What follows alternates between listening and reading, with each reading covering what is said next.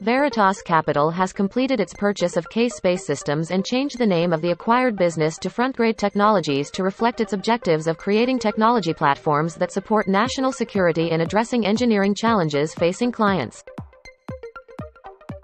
Naval Surface Warfare Center Crane Division has awarded ManTech a five-year, $57 million task order to help enhance the capabilities of expeditionary weapon systems used by U.S. Special Operations Command. Department of Homeland Security Chief Procurement Officer, Paul Courtney will deliver the keynote address at ExecutiveBiz Homeland Security Forum on February 7.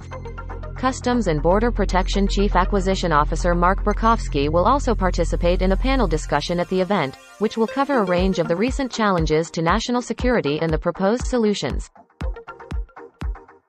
James Freeman has been named Senior Vice President of Government Affairs and Washington Operations at MapLarge, a position in which he will be responsible for the oversight of the company's government affairs activities and programmatic work. The U.S. Army has chosen Advanced Technology International to manage a group of companies and academic institutions that will carry out prototype projects under the second iteration of the Training and Readiness Accelerator Other Transaction Agreement.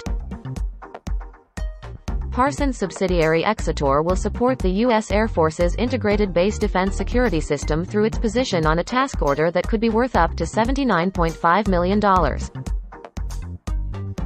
Stan McChrystal, a retired U.S. Army four-star general, has joined the advisory board of artificial intelligence company Accrete.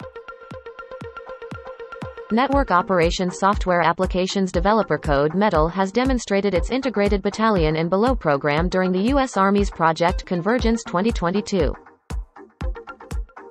Join Potomac Officers Club's Mission Partner Environment and JADC2 Intersection Forum on January 19, 2023.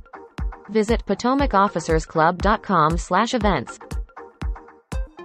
The Small Business Administration has started accepting applications for a certification program for veteran-owned small businesses and service-disabled veteran-owned small businesses submitting offers for federal contracts. Terran Orbital completed a contract involving the use of its GeoStare SV2 spacecraft to capture satellite images for an independent research project owned by Lockheed Martin.